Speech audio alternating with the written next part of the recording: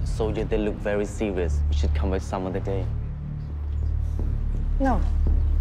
Just ignore them. We will continue in a calm and orderly fashion. Stay here first.